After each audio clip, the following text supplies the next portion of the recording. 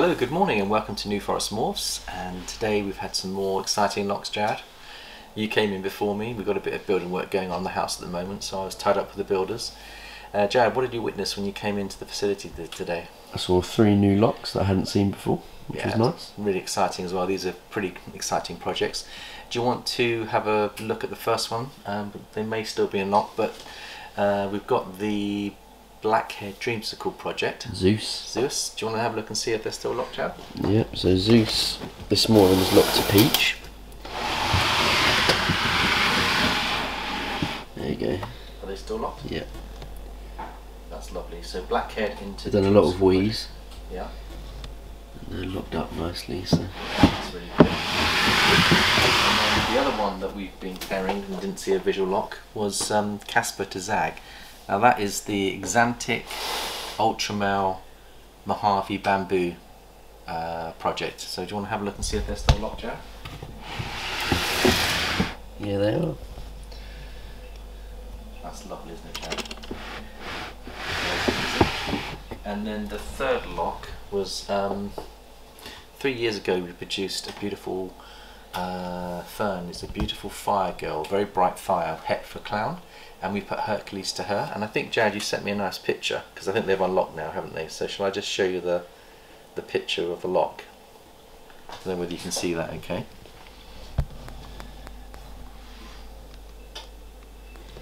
The lock is just there. Yeah. I think I also sent you a picture of the close up. Okay, so let's do the close up as well. Um, oh, there we go. There's the close up. So we're hoping to produce some fire, leopard, enchi, lesser clowns, which would be absolutely amazing. And you can see how bright she is. Is pastel? And pastel as well. Can you see how bright the actual clown is? Because what the het influence does, it brightens up the animal, and she's looking really good at the moment. I think they've unlocked now, so it's all looking good on that side. And let's just have a quick look and see if they are still um, still locked or not. Just they have unlocked, haven't they? But there we go. And above her we've got a hide girl called Iffy that we put the Axanthic, VPI Axanthic hide boy to. And I think they are tail to tail. I don't know if you can see that, but let's move it out of your way see they get quite messy when they're breeding. But he's been a bit of a stubborn boy, isn't he? He's not mm. locking with many of our girls. I think he's only ever given us one lock, and that was last year. I don't think oh, he's done a poo in the corner. Done a poo in the corner just for good measure. And then the other project that we've done is we've put Curiosity, which is our Axanthic Clown project. These are double hets. Galileo to... So Galileo is a super pastel Axanthic Clown, and his wife is Curiosity. She is a pastel double het Axanthic Clown. So we've got a 1 in 16 chance of fitting Axanthic Clowns there. So not haven't got a lock yet, but we'll see what's going on. And then Starburst, who's our Mojave uh, Ultramel girl, three years old. She is with Randy. And as you can see, he's on top of her, doing all the right things. Other than locking other than locking. He may well have locked and unlocked Jad, but he's proven to be a very good breeding boy. So we're hoping to produce Mojave Ultrapieds is what we want there, don't we, Jared? But I think she's not visual. Uh, she's a visual ultramel, but she's not het for pied. So no. the idea, this is a strategy that we're going to adopt, is if I bring out the stud boy that we're preparing to go in here cold. So this is a little strategy that I've learned, Jared, from other breeders. Is you start your girls off with the boys that are able to breed and then as you're bringing on the other boys so this one here is Colt. Yeah you renamed him Colt didn't you? Well, named him. Yeah.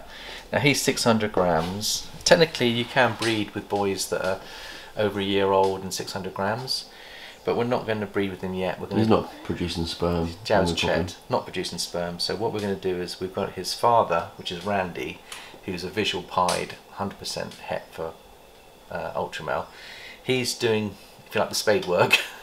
and we're going to try and steal the clutch in March if he's ready to go in about six months.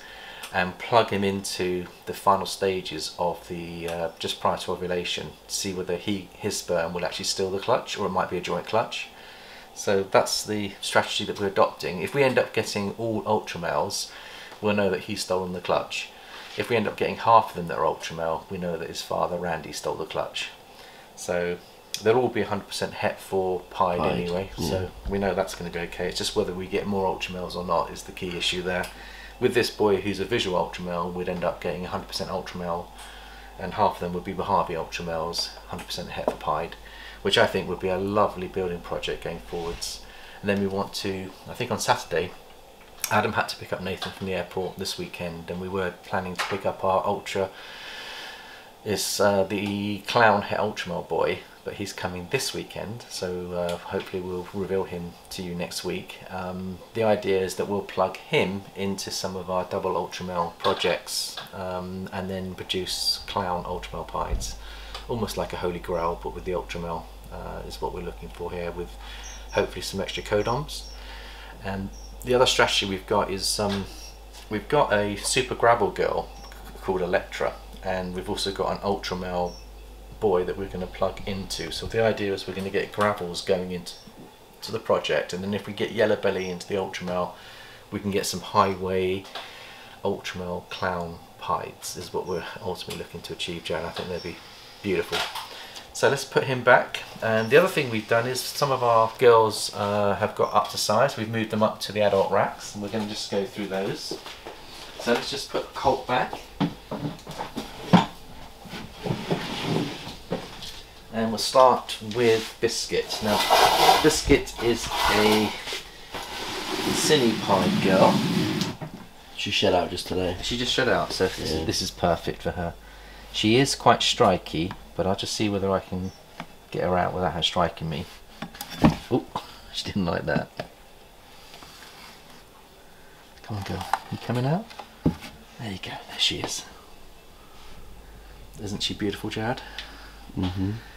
and she's over a thousand grams now so we've moved up to her adult rack and we'll just uh, allow her to enjoy her new facility and she's got a small hide so the technique that we have you can see that she's all she has been disturbed look, look she's in that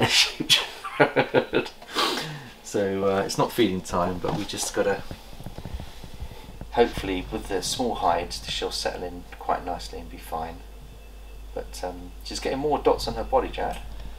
Yeah. See that? It's almost like banana. Yeah. So that's beautiful. Right, we'll put her back. Let her have her, her home back. So there's Biscuit. Now we know we've got Kelly, which is also moved up. She is our She's just a pied. pied 66% het for Ultramel. And there she is. She seems to be doing really well, Jack. Beautiful markers on her. Yeah, she's pretty. She's Yeah. a lot lighter. She's a thousand grams as well, so she's probably a bit more than a thousand. So she should be ready for next season. So these girls are going to be ready for next season. And then Harmonia. Now Harmonia is a pastel orange dream 50% het pied, which is carrying the markings, Jad. And again, we've given her a small hide so that she feels settled in. And she's going into shed right now but she's got the orange dream pastel and she's got the pied marks as well Jared which are shown as tracks underneath but also Oh, when she's she's in a shed, she doesn't look OD. no but exactly when they go into shed but we'll let her shed out so she's settling in nicely. And then we've also got another girl over here which I'll show you which she's also going into shed. You can see they're all eating well. And this is her sister which is not her sister this is Enya. Now Enya is a see she's going into shed at the moment so she, you're not going to see her at her best but she's settled in nicely. She's a thousand grams and she is a fire Enchi het DG girl. And she'll come into the DG projects later. We want to get fire and Enchi into our DG projects. So she's gone in and she's settled in nicely as well. Now we have managed to sell a few snakes this week as well, so thank you everyone for your support on uh, helping us. And uh, I think there was someone from the US that made an offer, or at least wanted to buy the um, beautiful Mocha Mojave girl. Unfortunately, we don't ship to the US, but uh, thank you for the inquiry on that one. But I think, Jared, you've sold a couple of snakes this week since you've put everything Mhm. on Morph Market. And how many snakes do we have on Morph Market now? Oh, it's about 20. We've got about 30, 20, 20 to 30 20. snakes on Morph Market. Please go look at those. We've discounted them heavily because we're trying to make space for our next breeding season. So the prices are very, very competitive. And uh, one of the snakes that we want to um, sell is one of our banana spiders, het clown boys, which both of them are ready to go in terms of breeding. I'll show you one that's just shed out, Jared, so you can see how beautiful he is. And again, we've moved him up.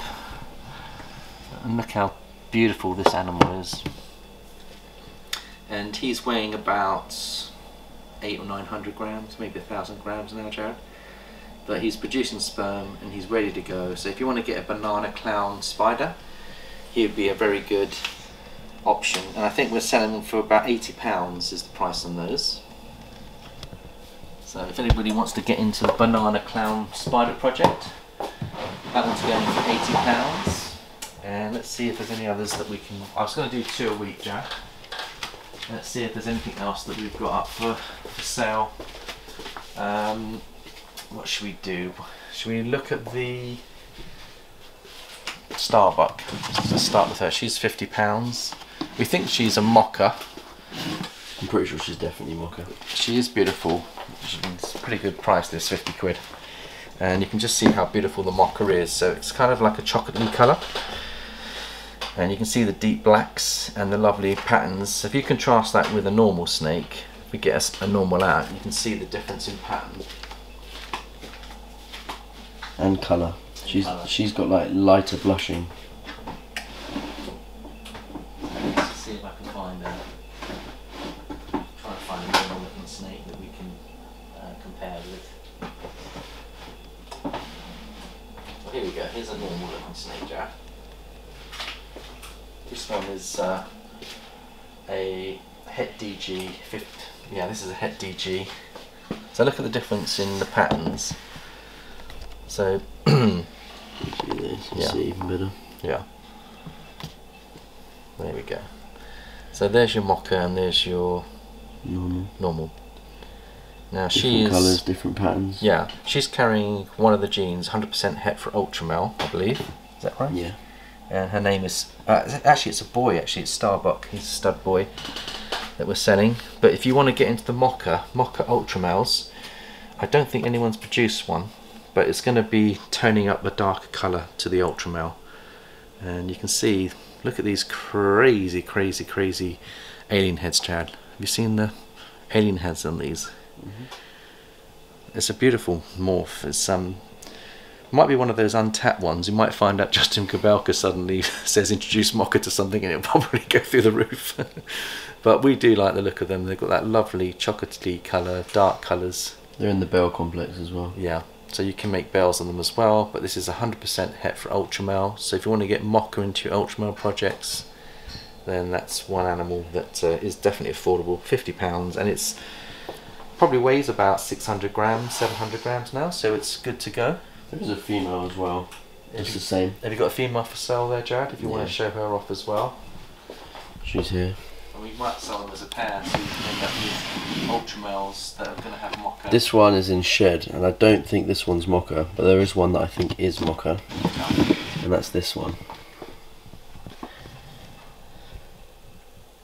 Yeah, she's mocha. This one's mocha. This one's not. Okay, how much is the one that's a female that's going? 60 quid. That one's 60, this one's 50. So for 110 pounds, you get yourself a pair that you can breed ultramels, and you can have uh, the mocha gene, either bell as well, super mochas. Um, but I think uh, a super mocha ultramel could be very powerful if the if the and the mocha gene go well together. And I say I haven't seen any on or, or morph market, but I do think it could look very nice, Jared. So I think that's the uh, two, three snakes that we're selling this week. So if anybody wants to make us an offer, please feel free to do so. I hope everyone's also having a good start to their breeding season. Thank you for watching and supporting us, and we shall see you next time. Bye bye for now.